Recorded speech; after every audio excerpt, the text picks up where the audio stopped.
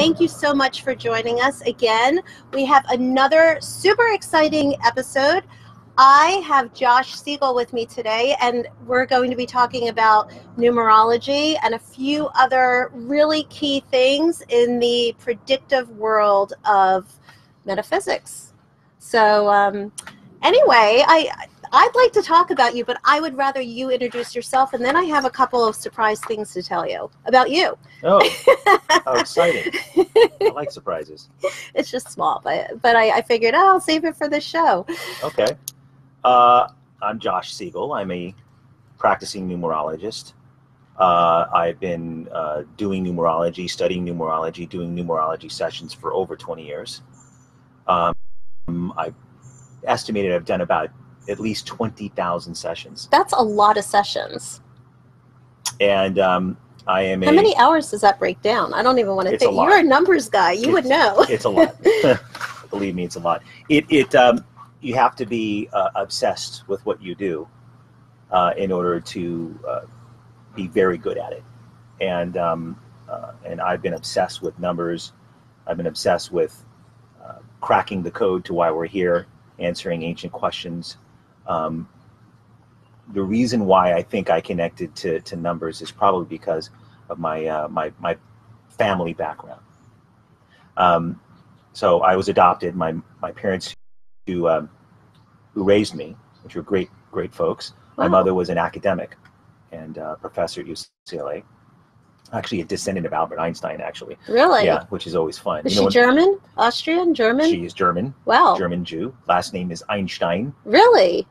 Wow. Father was an attorney. I wouldn't say I grew up in a very spiritual family, um, but uh, they definitely stressed, you know, research and and um, proving what you say and understanding things from a from an, a what you call a provable provable process where you can Right. actually learn something and prove it.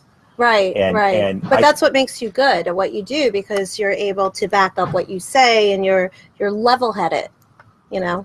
I, I, I say I'm where science and spirituality meet.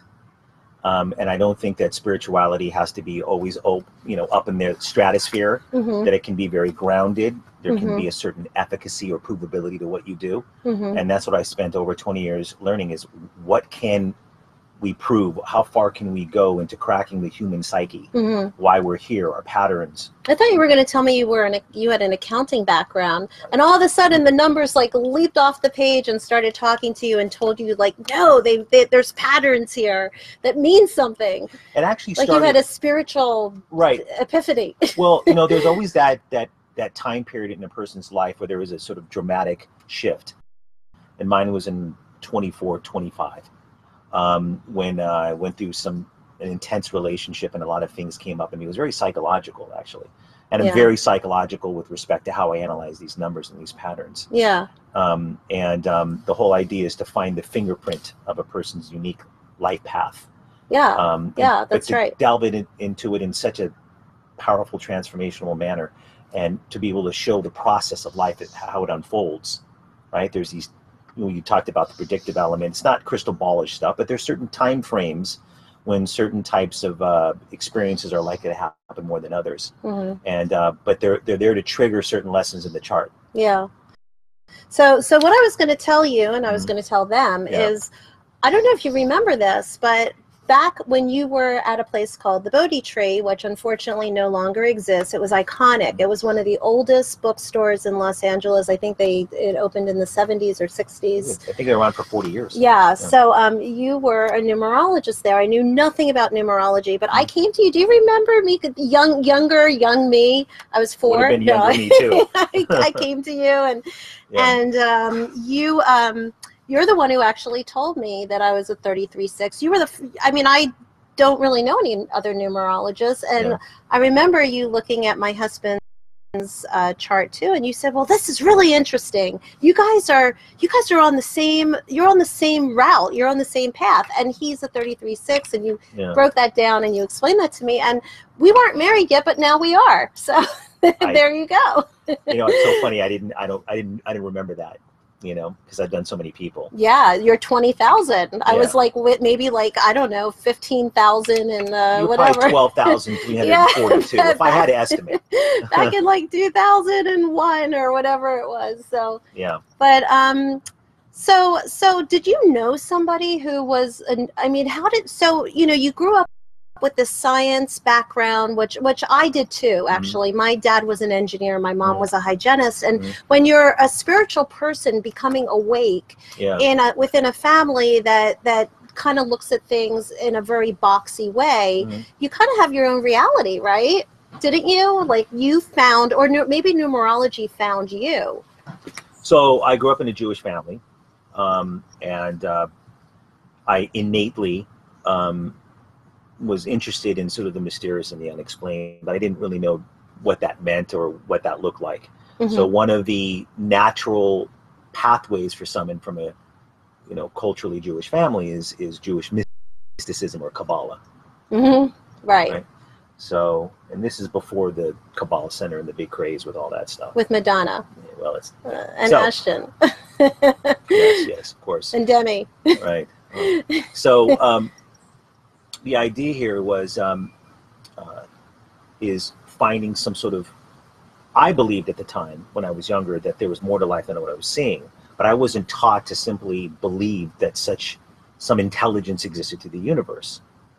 Right. Although there is some interesting insights that Einstein had, you know, um, and Yeah. um, and other scientists, and today, of course, quantum physicists who definitely are seeing things in a, a, a very unique light with respect to you know how the universe works right and the intelligence. and, and it's it. funny that it's kind of coming together i mean quantum physics is sort of under Yeah. spirit or, or over spirituality and saying almost the same things in some ways There's a lot of correlations between some of the cosmological or ancient teachings, you know, Mhm. particularly from ancient India, the Vedantic teachings, and some of the more interesting um, speculations of uh, the, the quantum physicists is, and you know, there, there's a lot of stuff it gets quite complicated and to be honest with you when when people consult me i don't bring up any of that crap Yeah, you I was gonna say like- we should have you come back and you. Well, I don't know. I think it's interesting. it's all fascinating stuff. I de- definitely got exposed to not only you know the the Kabbalah, Jewish mysticism, but also that started extending out into world religion and um, mythology. A Mhm. friend of my mother's was uh, the great writer of mythology, Joseph Campbell, Oh, really? and um, he was at the house from time to time. And of course, I, I was very young and I didn't know. Who Was he get giving you, telling you bedtime fables or? no, No? no, I was like, who's this old stuffy guy with my old stuffy parents? It was, it was that kind of thing. I didn't really, I don't know, you know. But it, it, it you start looking into sort of the great teachings and the uh, the great, if you want to call it, uh, mystical. you were quite. You were curious. I was curious. You were a curious was- kid. I was delving into a lot of that stuff, and what I found at the basis of all that Yeah. was that numbers was was a part of sort of the sacred language of the um, of the ancient mind, and many of the great teachings and and, and if you want to call it, in, That's my cat, by the way. I didn't want you to think there was a wild animal back there. I didn't want you to get nervous. I'm a little nervous because this cat's uh, very aggressive and You'll be fine. mean, mean looking. No, he's actually very cute. Shake. So the bottom line is that ultimately I found that numbers w- was at the root of all sort of mystical thought. It sounds like, I mean, you could shoot me down for this, but Mhm. it sounds like growing up the way you did, Yeah. which is similar to the way I did, it sounds like that gave you a context of feeling safe because you could prove what you were finding out within something that was familiar and acceptable. I needed to find something that was logical, workable, provable, and had the evidence based aspect to it hmm that explained what I believed was something more to life than just random events, random occurrences, and a bunch of people walking around bumping into each other and a bunch of particles hitting each other completely by mistake. Because it didn't seem correct to me. Right. But you, you know, you can believe something, but you have to delve into and research and find it. And I found it in numbers and I lived my life sort of how far I could get into it to prove that life is not a series of random events hmm that there is a destiny factor hmm and that there is a higher purpose for life and i sit down with clients and been doing it now for you know decades Mhm. altogether Mhm. and tens of thousands of sessions and sit down without getting any information from them other than their name and their birthday and tell them things about themselves that I shouldn't know and explain to them why they've gone through certain things in life and explain to them where the future lies with respect to making conscious decisions and choices. It, what I've proven, in my view, from after doing so many of these readings, Mhm. is that there is a lesson given to us at birth and that um, it is a part of why we're here and it gives us meaning to our lives and it's okay to screw up and have a dysfunctional relationship or it's okay to get off on the right wrong foot let's say in your career or to struggle in certain relationship dynamics with bosses or significant others in certain areas because that is you're here to learn that and understand that and i share that with you i confirm that with you without getting any information from you mm. other than this map this fingerprint Right. this mathematical code to your life. And once I establish that, it all unfolds from there. And I have to say, look, I do go back at times and I do nail certain types of events that I think was likely to happen. Right? Now, it's not invariably so. It's not always every single case where Mhm. it's an infallible thing. There's Mhm. nothing infallible. Um, but enough where it's beyond random, Mhm. far more than that. And what I'm doing is I'm establishing where you are and learning your lesson Mhm. and saying, did this kind of thing happen to you during? Because this is what the likelihood was statistically. Mm-hmm. It's almost a statistical thing. It's decoding your life. And then the whole idea is to have a, a transformational process whereby a person becomes awakened to their patterns Mhm. and then reveal why it's happening to you Mhm. and then helping them to see their higher purpose. You're very methodical when you explain all this. You know, it's you know.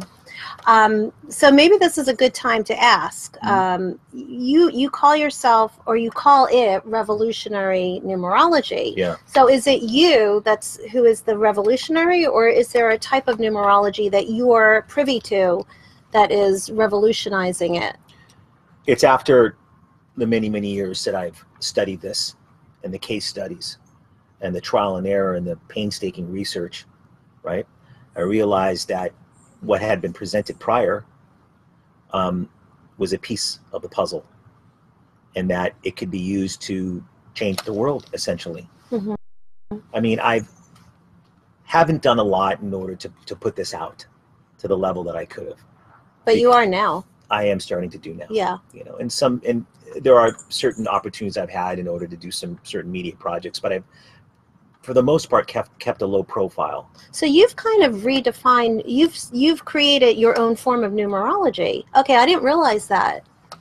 know it's it's it it, it it is a highly sophisticated um holistic approach based on on, on years of research So hear that, you guys? I mean, just like there's holistic MDs, Yeah. here is your holistic numerologist. well what i mean by holistic, Holistic is the whole picture. is the whole picture Right, of It- course.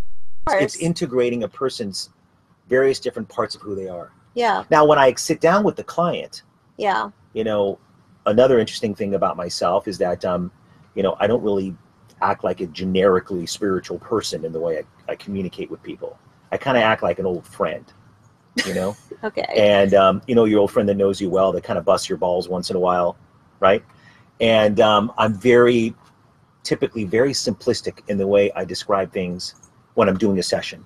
hmm And it's about reaching people hmm and it's about understanding that everyone's different and everyone kind of responds and you have to kind of intuit that how do i connect to this person so they get what i'm saying hmm right and you have and, I- and i communicate differently with different people But And see, that's that. A lot of people don't do that. See, Yeah. your your tactic or your Yeah. approach is, it's my responsibility to to make sure that I bring this person in. yeah Whereas a lot of people are like, here's some information. If you don't get it, you know, Yeah. too bad. no no no no no no i'll die that's trying great. i'll die Oh, trying that's great. you have to they have to get it and i will go through anything and all kinds of you know like you know it's an interesting thing i use a lot of humor sometimes in in in uh in my sessions and i use it to to get people to loosen up a little bit to make Mhm. it very safe and easy for them Mm-hmm. a session with me is safe and easy Mm-hmm. it's like i know you and i'm an old friend Mm-hmm. and I'm- and and and you know, look, you know, I'm not. Uh, I mean, personality wise, you know, sometimes I I use words I probably shouldn't. You know, I'm a kind of edgy person, but I do it in a way that's Well, don't use them here because no, we have no, like a G rating. okay. Well, I, I. I don't I don't do it all the time, but what I'm saying is I'm I'm so or, or organic and authentic. You're like you it. sound like you're in the moment. I'm in the moment, Yeah. and and um and we might we might laugh hysterically together. yeah, We might get a little sad together. yeah, We might um, have an epiphanies together. yeah. But it's going to be a, a, a- a wonderful journey into yourself, and it, it's very fascinating for people.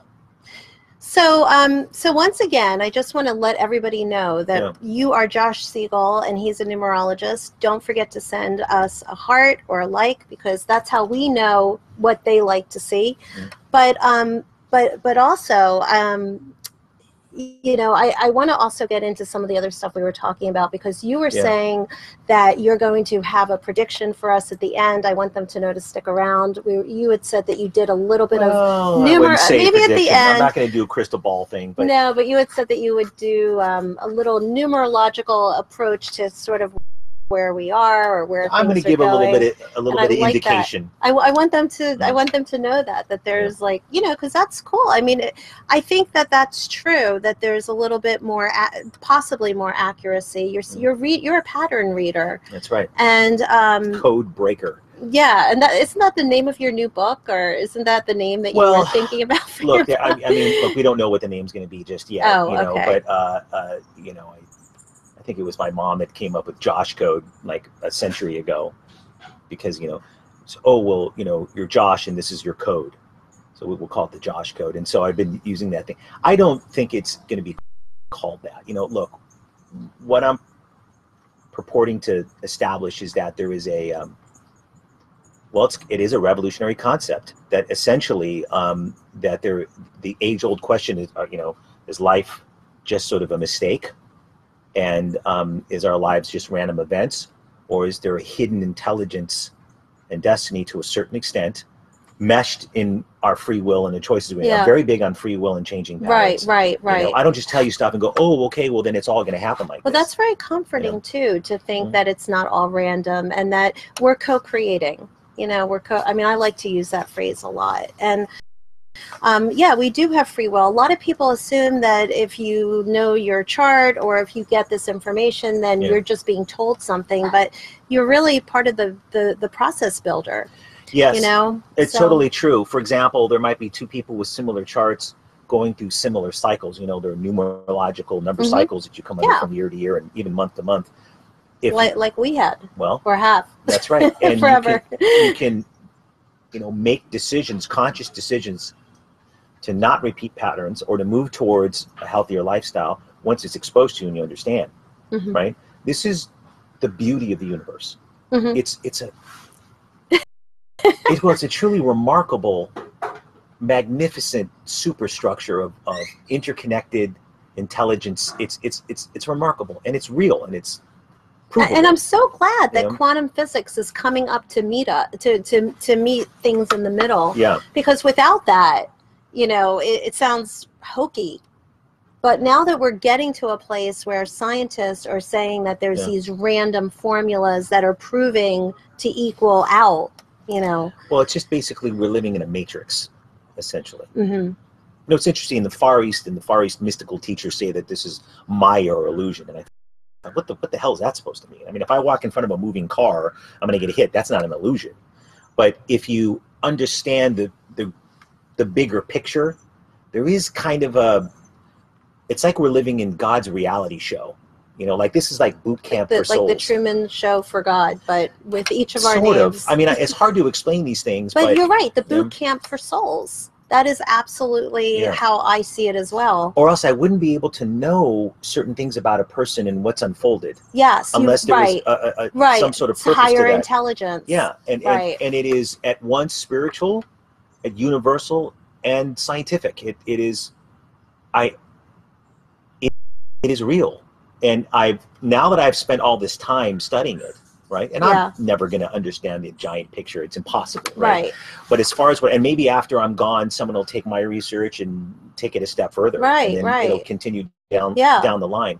It'll the keep evolving. it'll keep evolving and um and some of the work that came before me that actually inspired me Mhm. you know but the i think the idea here- is is when i finally put out this book um and uh in order to it, it is going to you know be a revolutionary idea it's That's certainly not going to be another book on numerology Right, right. something But you know, the know. truth is, Josh, that we're evolving. Hum- Right. Humans are evolving. I mean, 15 years ago, we didn't have like cell phones and technology, and our brains are now. I mean, I, I notice my own brain. I'm doing a text while I'm doing an email, Right. while I'm on the phone, Right. and our brains are now having to compartmentalize, and, and that is going to ch- cause uh, physiological changes in our brain. absolutely. So, so as we evolve, you know, all the structures that we use to decode our lives will also be evolving. So.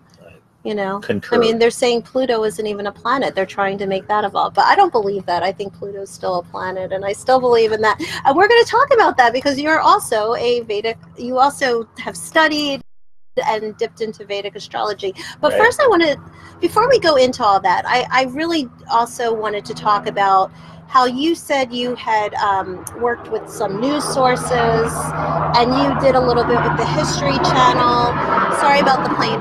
You also worked with Jim Carrey. Like, I'd like to maybe know about that. Like, what do you mean you, you worked with the news? Like, what, Oh, over the years, uh, over the years, I'd be contact contacted by various networks or production companies, uh, news, in order to, um, you know, put my two cents into things, you know, numerological this world. Wow. And um, so, uh, you know, I've been on History Channel. I did a show called Decoded, Yeah. uh, which was a big show for them. Um, they flew me out to New York to decode the hidden number symbolism in the Statue of Liberty, the great Are you kidding iconoclastic structure. Yeah. Wow. And um, so, you know, it's interesting because I wrote two very sort of scholarly paper papers about um, um, sort of the hidden symbolism dating back to mythological influences and so on and so forth. And I really wrote these, you know, I still have these these papers. I did an enormous amount of research and I some really fascinating ideas. And I, no, no, no, we don't want any of that. You know, you know, we want you to, you know, get out there and find the hidden numbers. And I um, didn't know there were hidden numbers. Well, you know, it's funny. Liberty. because Maybe there there was there there was uh, t- to some degree a hidden number in the uh, um, in in the crown. I was going to say there's num- Roman numeral Well, no, there- numbers, there- right? well, Isn't there's- there? there's there's seven. You know the the the crown that she wears. Yeah, Right. There there it's like the little windows too, right? right. Yeah. Isn't that the windows? Look, I, I I looked in all that and I saw the number seven come came up over and over and over, you know again. But it, it was I have to say that um, that it, it was a little uh, when you get to TV and this, it was a big lesson for me. You know that was the least important thing that I you know had discovered and gave to them. And when you do TV, a lot of the time they um, they edit you in a certain way and they try to um, you know sensationalize things. And I- Yeah. I wasn't too fond of what what they did, and you know, but you know, look, I, I I tried to find some correlation in that, and there was some interesting things with the number seven. There was.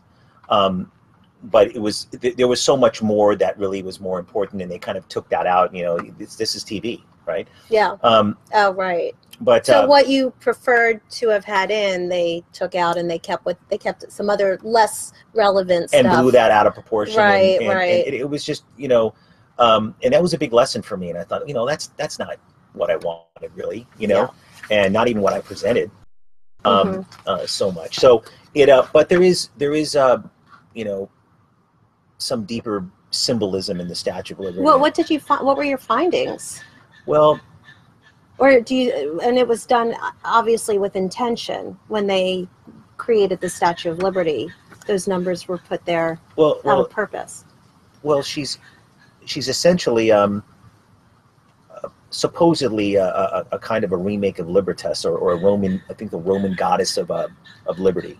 Yeah. W- When you look in the deeper symbolism, there's there's there's much more um, um, underneath that, It- and I have to say it's certainly pre-Christian, and it's it's early pa- pagan symbolism for the for the goddess, the archetype. There's a lot of it. Look, I don't want to get into all this stuff Yeah. right now, but it, it, it I, I would say that um, that we have some curious symbolism in this country. We that- do. Yeah, that We that- very, we really do. Like on our money system, for instance, we yeah, have there's a lot of interesting stuff. Yeah, right. symbolism. And by the way, I'm not Mr. I'm not a conspiracy theorist. No, okay, but we're I, sti- not. I stick we're not. I stick with with scholarly research Right, that I can. right, and you've being a quasi scholar. right, but right. I, I, I would say, uh, yeah. um, but but but there was there was a bunch of interesting things that I, I brought to their attention, but they Yeah. didn't want to put that out there for whatever reason. They Yeah. want to sensationalize this. right. Well, this they had an agenda, I'm sure. Right. So that was an interesting thing. And what'd you do with Jim Carrey? So there was that movie, the number 23, that came out, oh gosh, 10 years ago, I think now. Um, this was an interesting film because Jim Carrey was um, not being Mr. Comedy guy.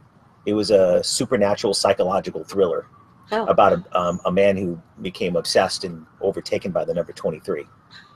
Apparently, there's all these something called the 23 Enigma, a lot of events and strange things that have happened in the world that are associated with the number 23, and um, uh, which is kind of interesting. Um, anyways, that was a very fascinating and one of the more exciting things I did because I spoke for about an hour straight about the number 23 and and, and its connection to ancient culture and different you know spiritual teachings and and, and religious thought everything from the chinese i ching or the uh, um, or jungian psychology and uh, um, the kabbalah. There's so much that i that i was able to kind of i just just spoke for an hour straight.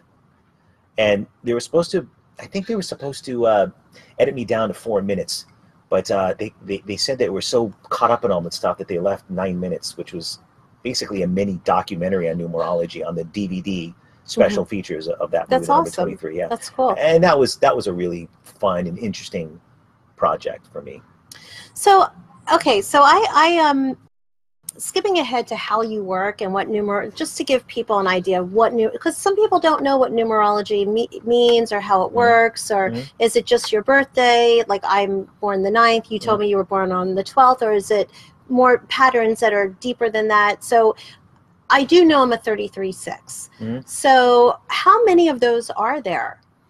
There's as a life hundred million four hundred fifty-five thousand and two. Oh, really? I mean, if I'm a if I'm a 33 6, how many life path? Like I know with astrology, there's 12 signs. Right. Are there a lot of life path choices? So so so there are different kinds of sixes. The why it's called a thirty-three six is three plus three is six, so it's a form of a six. yeah. It's a special one traditionally in traditional numerology. That's what I call it. The classic numerology, 33 6 is a master number. It's supposed to have certain special destiny to it. Um, What are you? my life path number is Yeah. 4711. 4711. Okay. So um, so I think I think the idea here is uh, And 7 and 4 equals 11. So I guess it's always similar to. well, it's a form of an 11, which is also a two, but traditionally with the 11 you're supposed to these are old classic interpretations that Okay. um, that that i think you know I, I i sometimes bring up but but you know there's more important things right um uh to talk about than than some of the older views of it Mhm. you know some of that stuff changed when i started to actually do trillions of these charts and um but but it you know i'll, I'll note that um you know look there's different kinds of sixes there's a 24 6 right there's a 60 slash 6 So how do you work then? If if so these are so okay, so I'm getting the sense that these are older kind of methodical kind of black and white ways. And Right. you've taken that and you've created you you're you're getting extra information. Well, here's the thing that, and this is a really good point to bring up. In numerology and even in astrology, taking one thing out of context and running with it, like sun sign astrology, where people say, oh, this person's a Taurus, Right. and so therefore that's who they are, right? Or you have a 33 6. You understand that the meat of the chart is in the name, not in the birth date. And um, every letter equals a number, and there's a slew of numbers that are ascertained from your name. And how that's added to and connected to other numbers creates a total picture. That's why I call it the holistic approach I see. you can never take not one number out of context. You have to look at all the numbers and how they interact with each other and put them together. The, all the idiosyncrasies, all the various different, you know, strange things about yourself, right? Um, like the, you know, the person who can get up in front of, you know, thousands of people and and, and uh, have a sense of confidence, right? Who um, on a one-on-one level becomes a total, you know, insecure neurotic. hmm I say, how could that be? I mean, they have all this confidence. You can be, you can be on, you know, in front of millions of people, and yet on a, you're, you're so, you know, screwy and Such a inter- dichotomy. well, but see, life is di- every person has all these unique facets. Every single person Mhm. has unique qualities that make them that it's that fingerprint, Mhm. and you have to look at the totality of the chart. So, being a 33.6, you share that number with millions and millions of 33.6. And I didn't mean that. I didn't Yeah. mean how many people in the world are 33 Right. I No, I meant how many different substructures are there? there are many there are many Yeah. but there, there there is a finite number right because you know names can't be this long Right. um, i think the longest name i ever So it's So, based. So it is based on a person's name, absolutely Okay, full it's- name complete name at birth a complete name at birth. So if somebody changes their name, you still refer to the name at birth. so if you change your name later Or on you in get life married, or you, you anything. take you take on yeah. you know a, a spouse's name what have you the imprint of your lessons in life are still manifested when you were born Do you look at the new name too? uh, you know i These are good questions. you know, I don't- I- I- don't know. I don't. I didn't know that. I, I, I actually I actually don't very often look at the new name because because we need to see where you are and, and where you came from. where you came from. Now Right. now there are cases where I do and you know sessions down the road, but we need to get down to business, right? And then you know the, so, so what you're saying, Josh, is a person's total um, lessons, infrastructure of Mhm. their of who they are, their identity, their their their their fingerprint right is in their birth name. in, in and all the information is there. right. And believe me, I grew up with massive skeptics. I So- get, yeah. so, that's I why mean, you're so. That's but that made you who you are today. It did make me who I am today. So I, it's not that after 22 years later, I don't understand the concept that a person's name and birth date are arbitrary. I, I get that, but it's not. Apparently, it is not arbitrary. However, that works. That's the mysterious aspect. why people are named what they're named. It, you know, look, oh, my grandmother. You know, I was giving my grandmother's Right, middle. right. You know, my my The, middle the, name. the, you know, the name all- on the know, badge of the nurse that day. Yeah. I just couldn't think of anything exactly. I mean, there's it's- all so these strange all- things. It's it all comes to pass as a like a destiny kind of answer. it is what it is. I mean, you're Yeah. born in that family during that time frame, right? Your mom's wacky and your dad's a workaholic, right? And this is this is what you grew up under, right? And you grew up in a small town, you grew up in a big city. All those things are that's a part of the plan. So just by doing, and you do this really quickly because you know Fairly somebody quickly. somebody sits. You could do it at a party. Like if you were hired for, like I do a lot of events. Mhm. So if you were hired for an event, you could do it in five minutes. You could get a person's like life path out of you know.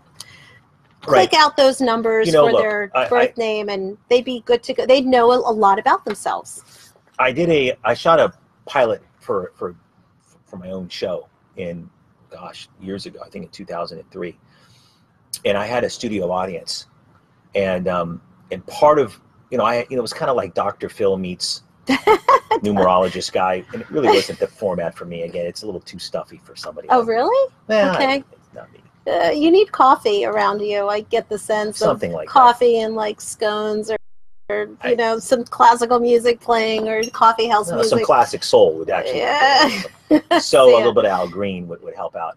Um, so the idea was uh, to pick out people in the in the audience, right, right, and do these quick shotgun sessions. right. And what you it, it, look, it's not something I you know I want to do all the time because the real work happens over a period of time. You know, you people are complex and, and you need time to kind of delve into You, it. so you really need to marinate and digest and study how it's all coming together. I mean, just like studying a chart, I guess. I mean, there's there's going to be some things that I sometimes the chart speaks so loudly. yeah, in one particular area. Yeah, I'm just like, wow. Okay, you're yes. you're you're changing your job right now after many years and um, and you're probably going into something artistic even though you've had a sort of an analytical job oh my god how did you know that right, because it was so blatant right. you know some charts are harder to read than others and some, some of them I have to really think and you know integrate these numbers and it's so contradictory some people are very complex that other times it's just so boom You know, I get it. You know, the same thing happens with readings with tarot. There's. Yeah. there's sometimes that you know it's just there's just one through line that you have to express, Yeah. and all the other stuff is secondary. Yeah. And it's funny how the uni- I think what that is really is the universe communicating with you as a channel to get the message out. Well, there, there there's patterns that are sometimes very clear. For example, the same type of number that shows up over and over again in someone's chart. Yeah. Right? There's and there's different numbers that have a similar effect. And if i see that i meet and then i look at the time frame that they're under hmm you know i look at the cycle of when i'm being contacted for a session. So why are they contacting me right now? What are they going through? The numbers will show that hmm you know? And then sometimes there's a link with the you know the, the more what we call it the lesson numbers in the chart and the cycle that they're in. And then there's this sort of kismet where it all comes that's the beautiful thing about it. It's it's really remarkable hmm how sometimes it's so blatant Yeah. and then I go boom, and there it is. Right. And, and you know, a lot of the time it's confirming things for people, Yeah. and because we're unsure, we live in this crazy world, and you know, there's so many, you know, unstable things going on, and and and what are we doing? And we're worried about our our, our finances and our relationship, and the political world is really topsy turvy right now, no matter what side you're on Yeah. right and and and and i think it's really important that to understand that there is still an intelligence occurring here we're going through crazy times but you know what there are times when we need to go through crazy times for development Right. There's still a formula. there's still there's still the universe doesn't cease to exist Yeah. and the intelligence behind it just because things seem to be random or crazy it's something to remember and that's what you're bringing order to people's lives Yeah. Right. while maintaining the freedom for them to choose hmm and the free will to create what they want.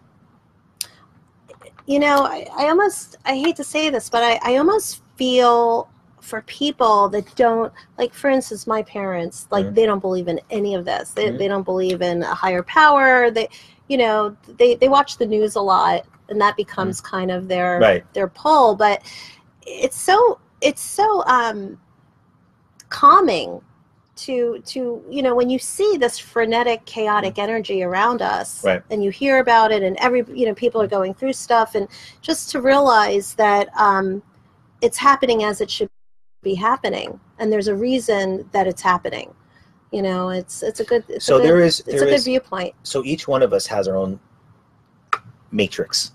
You know, Yeah. that tracks certain things in life.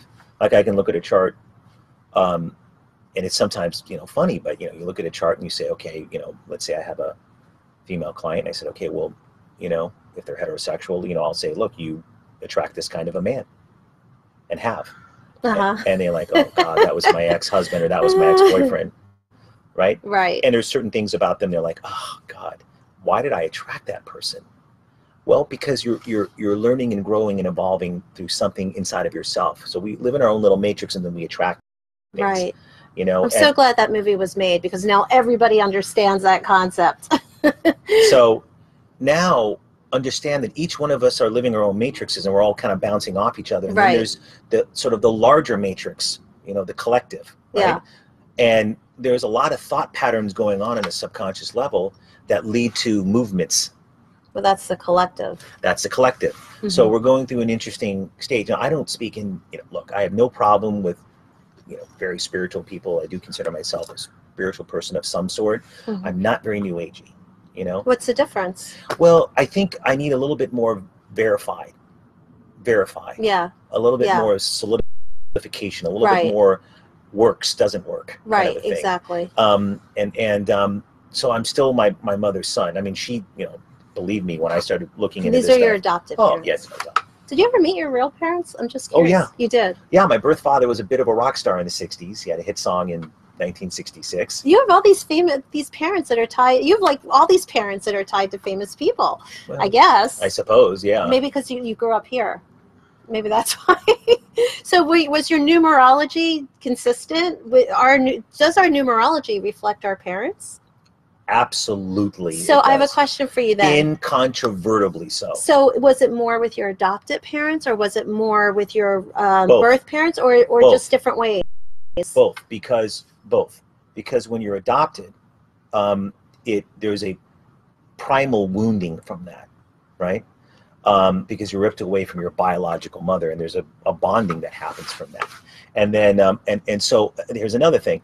I understand the idea or the concept of nurture versus nature, hmm right? Or your your environment versus your your encoded DNA. Right. Essentially, what I'm looking at is is is your you know, if we have numbers to describe one's physical DNA, you know, there's like a map, a numerical map to our physicality, right? In a DNA strand, it shows your eye color, your hair Mhm. color, certain predisposition to disease. A lot of things are Yeah. mapped out numerically in the human DNA. Why wouldn't there be a, a, a code for why we're here and other aspects of our life? You know, but um, but I right. it, it, it, there was certain things that I got in my genes from my my my you know musician hippie you know creative intuitive Yeah. rock starry parents birth parents who I didn't meet until I was 18 and 19 respectively Fascinating. and then but I was you know I was Are you still in contact with them? well my birth father's pa- since passed but I'm Oh, very okay. very close with my birth mom Nice. and um, but I now have a good relationship with my mom who raised me, which is she was quite you know a little more controlling. well she's you know the old school German Jew thing is Yeah. is, is Yeah. they don't screw around. Yeah. there's a a Well, she of was a she was a descendant of Einstein, and she was like, "You're going to be like an Einstein," and you were with numerology. I suppose so. you know I don't think she sees it that way completely, but she she's uh, in in her elder years.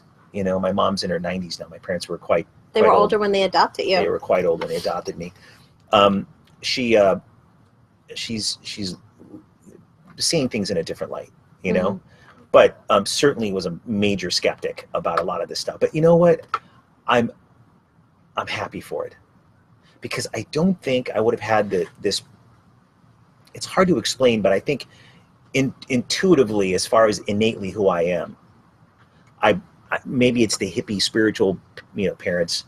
My my birth mom's fairly spiritual, Mhm. but I don't think I'd be anywhere near as, as accomplished in the work that No, I've done if I did not Right. grow up in a household Right. that said you've got to prove what you do. It's got to work. You have to be practical. You've got to be practical. Right. And I don't think I'd be anywhere near where I am today if it wasn't for her. You know, my my tough, relenting, you know, tough love, you know, Einsteinian parent. So when you, so I, I'm just realizing like this is fascinating, but I want to make sure we get to everything. When you just really quickly to sum it up so that Mhm. they know, Mhm. when somebody comes to see you, Mhm. and we did a great job describing how it wor- how you work it, Mhm. but are you basically, um, I guess you answered it already because you said that's kind of like like the real, you know, black and white way, but you basically have with numerology a life path, a soul path. There are about six numbers. Got it. Okay. I Um, just want them to know that. I say about because it depends on some things. Okay. Um, and um, each number, um, I, I'll go through each number. But right. it depends what I see because I do every session differently. Because you're very holistic, but but the but the bread of it or the bones of it is Yeah. that there's these different categories That's right. that you pull together to so that they know what they're working on in this lifetime. Oh, believe me, I make it so abundantly clear. Uh huh. You, you, you, you, if you can't, if I think it's time for me to book a new session with you. Listen, It was if, too long ago. You don't even remember me.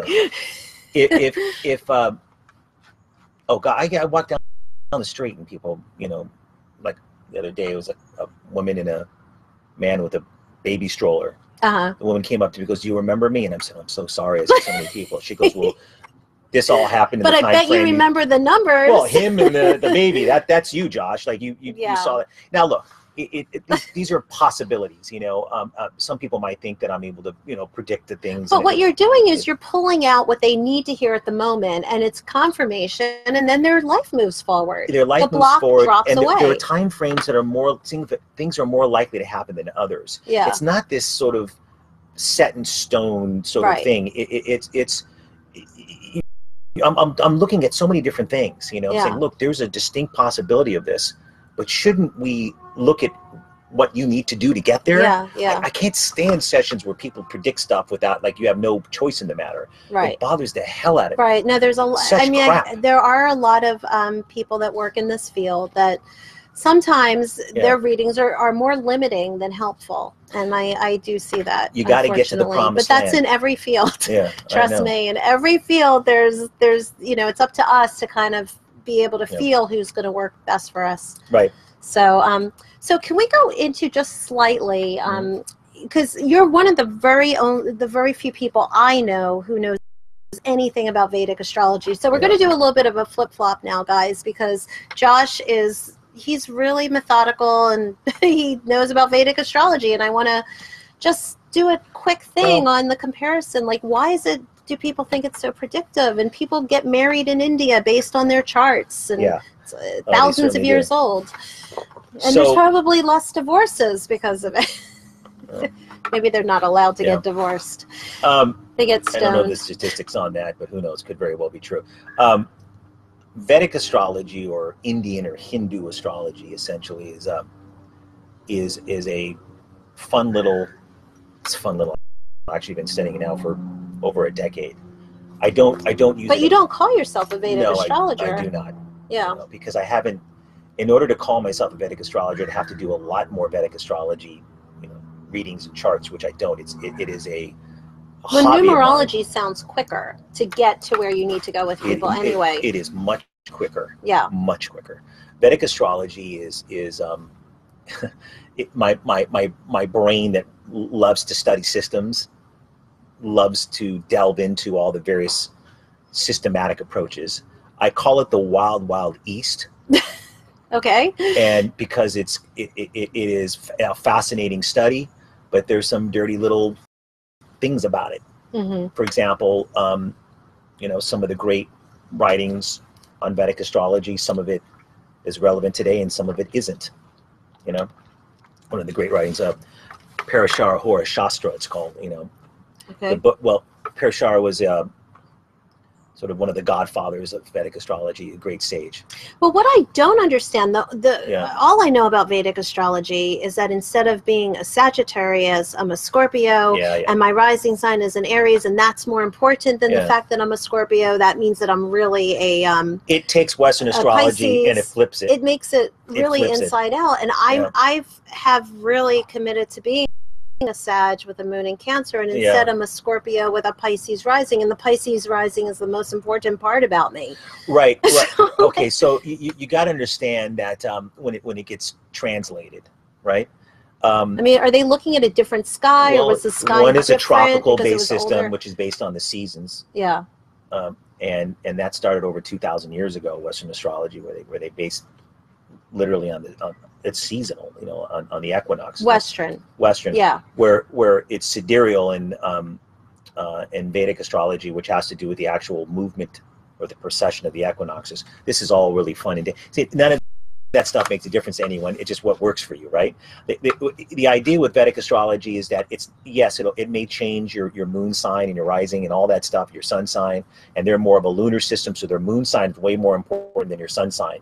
Over here, we're like your sun sign, and the moon sign's a little it's bit secondary. just like what's happening emotionally. Yeah. And by the way, guys, Vedic astrology is what they do in India. And Yeah. I guess, you know, well, there's also Chinese astrology. But anyway, Right. we won't go into all that. We'll Look, it's a fascinating study. They do pride themselves on on on the predictive, predictive you know, aspect of but it. but but the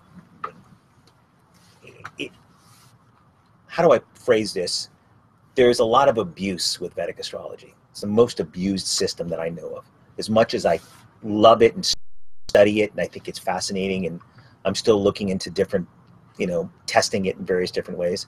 There is there isn't a lot of agreement on a lot of different things, you know, um, and there is a fatalism that sometimes seeps in. Well, the Indians, uh, the society tends to lock people in anyway. Like they still have a caste system, so right. it would make sense that their astrology would be limiting in that way. Like this is your destiny, and you can't get out of it. Yeah, so um, in in the Western world, we're, we're a little bit more psychological as far as working through um, patterns and and changing our lives, and and and you could come from nothing and be the president, Yeah, right? Over there, there there's definitely more, like you mentioned, the caste system, but the, the mentality that that has come from the caste system is is, is somewhat limiting. Um, in, but also some of the, you know, this is an ancient form of astrology that some of these older writings are, are written in very hyperbolic, you know, like, you know, like you're going to be hit by a, a truck when you're seven, but then you'll be a billionaire after that. They say crazy, you know, like, you, you know, you'll have seven mules by the time you're 50 and you know and you Hey, just, we can all use a few mules. who can't You know? use a mule I here know, and there I can you know use a mule. and no that's Cut back some of this brush. exactly it's a little wild over here i feel like I in the jungle It's pretty on on the camera though. Oh, it- okay, good. Yeah, that looks good. Um, but the, the correct usage of it by, by, by the handful of practitioners that I know of that are really good, um, they translate into a modern system. And there is some fascinating things that, that these people can do, you know. But I have to say that there's a lot of people in that world that I think are screwy. Mhm. Now, now I happen to follow, you know, follow sort of the, the writings and the and the teachings of a, a gentleman by the name of K.N. Rao, who is, I think, arguably the foremost authority Is he there? he's in Delhi. He he runs a school of astrology that I think it has thousands of people, and um and he's very scientific. Right know, up your alley. fifty thousand you know um, horoscopes he studied, and he's very systematic, and he's Im- improved upon and, and um, some of the older you know processes and doing things, and he, he's fascinating, and he has a he has some people that he you know that studied underneath him that are American that are that are fascinating. Mhm. And um, look, there there's it's a it's really interesting for me. It's my hobby to study it. Yeah. Okay. But but but the reason why it's abused is that if you don't understand the the, the, the rules and how things get modified and if you don't have that mind to really understand it and test it out and you're operating off old school ways of looking at things you can tell people a lot of fatalistic terrible things and screw Oh, the hell out of them. That's or- awful. well it, it it because is then awful. it becomes their matrix, it becomes their matrix or you, you tell them all this magnificent things are going to happen in their life and, and, if then they, don't can be disappointed. and then they become disappointed if it's if it doesn't happen. right Are you so? Are you a Virgo then? Because you're a Libra, so it pushes you. So the Mm-hmm. way it works is it pushes people back to the previous sign, yeah and then you're an Aries rising,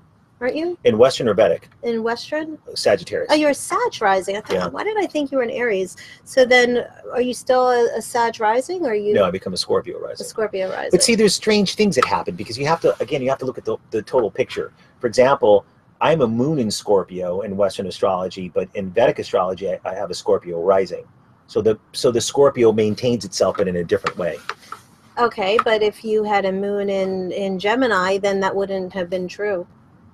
no it wouldn't have but it is true That's true. I like to deal with facts. That's what happened. Look, it it's an interesting thing. I think if people want to uh, be, I would suggest that they um, read up on on uh, on who they're going to get a Vedic astrology reading from, um, and their philosophy on things, and, and their interpretation of things, and if if, if um, you know if someone they know have gone to them and recommend them, and um, uh, it, it's Do you, it, do you do that for people? no, I don't. No, you don't. Okay. No, it, it, you know, I look at it for myself and maybe some friends, and Have it has it been has it been accurate for you in your own chart, or do you just use it as a tool? I don't know. And I know that's that sounds like a cop out answer, but it it there's I'm working out the kinks. Mhm. So give me another 20 years, okay. and um, and You'll come back in twenty years and you'll talk I'll about come back in 20 years and let you, and let you know what I discovered about what works and doesn't work. Because I, I, I, I it needs it. There's, you know, look, and there's different ways of doing things. The reason why I call it Wild Wild East is there's different schools of Vedic astrology, you know, that have hold completely different systems. Hmm. Can you imagine all these different people and they're being all like things are, you know, going to happen this way, and they all disagree? But if you saw that movie, um, uh, Lion, did you see Right. Lion? I, Uh, there are so many different uh, like like india is massive i mean in the united Yeah. states we have one language yeah, you know but in india and because of how old india is i could see different Yeah. different areas in india Certainly. developing their own yeah, yeah. It's a fascinating study. i mean there's like uh, 80 languages or i mean i don't even remember I happen to like the culture, in, uh, regardless of the caste system, which I'm not. You know, I'm not a big fan of fan of caste you're not a systems. fan of the gas No, I'm not. But but I res- but I respect their culture and I respect the people. I think they're Yeah. beautiful people. yeah I think Vedic astrology is a fascinating study. It just has to be done in a way that isn't so fatalistic. Yeah Or, and, and, and, and, and you need research and you need to test Yeah. things and some things may not work that you were taught yeah that's that's the problem with many things today is if someone has to teacher and say well this is the way it works and then you bring that information to people and by golly it doesn't really work that way are, are you going to tell that person well gosh this is supposed to work, so somehow you got it wrong. Your life should have done that. Or do you look at facts and say, why didn't this work? And then you research it to find what the problem is and, mm-hmm. and, and crack the code. If you can't do that, you're just re- regurgitating information. Right. And when people are coming to you, it's a great responsibility to make sure the information you're giving to them is accurate, that you that you have a lot of experience in that area, Right. and that you, you want to get them to the promised land, which is a more fulfilled, happy, integrated lifestyle with plenty of free will to make those decisions, but with a lot of understanding as to what you were coming through, what came through this this lifetime for you. It's really great that you speak with such a sense of responsibility and that you take it seriously. It's really, really great and, and admirable. Um, can you d- can you do your? Um, I know you said you had done some numbers numerologically. about- Yeah. and I don't know. You didn't really you didn't really go into it. Like I wasn't sure if you were talking about where we are as a country, where we are politically, where we are as a society, where LA is. I wasn't sure what you meant, but So- whatever it is, I, I'm open to hear. I think we're think all they I think we're all politically um, fascinated with with with with the pers- persona and the personality of, of the of the president.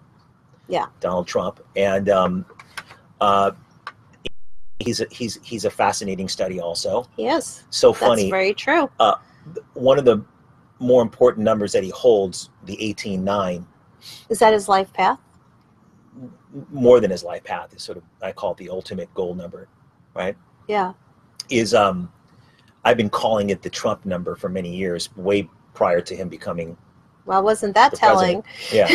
we should have um, just asked you who would win. Well, you know, it's interesting. Oh, that that was another thing, um, because um, it is true that I suppose you could say to some degree Trump had more favorable um, influences than than Clinton did, but um, you know, we all have our political biases, and um, so we could we can we can decide not to look at something a certain way, and that's that's you know, there's an astrologer who you know, I, I think he's a proficient astrologer who is um, th- that I used to read from time to time. He Mhm. did some interesting insights that were a little bit different than the Mhm. normal stuff that I, I Mhm. read. And but he was very biased politically, and so he would discuss these things, and that's why it's very important that you you look at things objectively, Mhm. right? But um, however, uh, this eighteen nine, right? Um, Which is Trump's more than life path number. turns out eighteen nine can be associated with international big business and distribution, wealth which and is what he does. um, Right. and uh, but also it is also synonymous with sort of underworld activities and sort of the dark parts of ourselves. Uh-huh. So um, you know, why is that person now in president? What does it represent, right? hmm And um, also, 18-9s can can sometimes suffer from paranoia. Um, He is paranoid. well, again, I, I'm not going to make any judgments. I'm telling you about what the number just just means, and Okay. which which people have been coming to me for for for, for decades, and and this isn't anything new information. I've told them about this number Yeah. and what it means. And Yeah. now th- there is the the the typical 18-9 um, actually uh, um, has a tremendous amount of power that they usually sabotage out of deep-seated guilt of not wanting to abuse their power. It's one of the more fascinating numbers. And um, and there can be um, in some cases abuse uh, of power or, or money in the family. Hmm and some dark secrets in the family. That, that, that is not an uncommon interpretation of an 18-9 however there's a small percentage of 18-9s that are the, the ones that claim that power earlier in their lives right instead of giving it away because of some deep-seated guilt or fear that they would abuse it inappropriately because maybe it was abused in their environment growing up right hmm so there is a small percentage of 18-9s that claim that power early, but if they don't heal the wound, many of them carry some very deep-seated, very subconscious wounds about abuse of power and money. They can sabotage themselves later on. Keep in mind that Trump has, has uh, gone, his businesses have gone bankrupt four times, right? And and we could say that this is a you know subconsciously sabotaging himself, right? So look, it is it is an interesting study. Um, again, I was very well aware of his chart before he became president, and and the mentality. The question is, as we talk about those timing factors, those cycles, Mhm. right? And I said that he was in a favorable cycle. Um, you know, and which which did ultimately land him the presidency, right? Or was indicative of that, right? Right. We don't know for sure in these things because I don't like to crystal ball stuff. Mhm. But he was in a favorable cycle, Yeah. and um, um, although you know when I looked at it, you know, you you you think, gosh, well, you know, the polls, and you you get caught up in these other things. But objectively, he was in a better cycle to win, right? But if you look at what's ahead, right? So one of the things I do is I research um, situations and dynamics that are related to what's going on maybe in the past. So I went back to Richard Nixon Okay. because there's been a lot of talk about impeachment, Right. Right. uh, you know, Some abuse of power. parallels. Some possibly. parallels, yeah. Possibly. We don't know. Yeah. Possibly. We don't know, right? Right. So, but the, you know, is, is there? So I went back and I said, and you looked at him. I looked at no, he has a different chart, Oh, so he's a different person, and the numbers are different. But I look at the cycles. When did, you know, Watergate start to take Yeah. hold? Yeah. What numerological cycle was he in? Uh huh. and and at, at what time you know was he basically forced out by his own party with respect to saying look we're going to impeach you unless you step down when did that happen what number was he under influencing that and what i found is starting in the fall of this year um, going into next year it was the same exact cycle nixon was under Starting in the fall of this coming yeah 2000, september September Sep- 2017. September, October would start. Not let me. I said starting in that period, Yeah. which is exactly what the time frame that Watergate started. How long the- was the cycle of Watergate? Are we Well, it was in the fall. was it um, because we were? Pre- I mean, I don't. I don't remember. It was in the. Was it like so I guess it, when things really started heating up on that, it was in the fall. So it was around. It was around October, um, and then I think the following year, May. was when it completed or came to a head. No, no, I think it was no, it was August. I'm trying to remember what month it was, but it was um, it was about a little less than a, a little bit less than a year, I see. a time frame. Right. right? So, but but when things started heating up was in that, and it, it is true that that that um, again, there's not that many cases to look at impeachment. and You know, there's only No. one Right.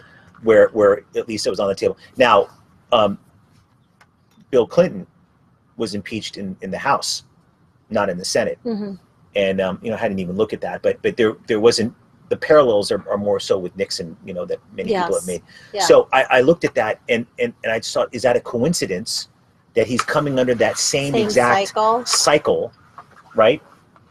Because we're talking about leaving office, not just being impeached in the House, leaving office. So what I know about that number is that it, it, it rules conflict. It's a warring kind of energy. And it can also um, res- restructure one's career or job. That can mean a lot of different things, right?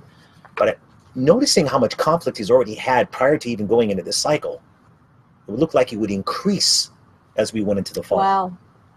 right? Yeah. And um, I also noticed in Or certainly things coming to a head. things starting to come to a head. I also noticed in the spring of next year, starting um, in February, um, March, and then a peak in May of next year. Now, again, I haven't really done like a massive amount of research in this because there's not a lot to go on. You know, there's very few cases of this in, in American history.